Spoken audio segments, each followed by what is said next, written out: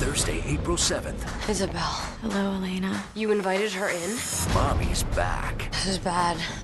Let me help you. You would help. And get the hell out of my house. My sister is killed by a vampire.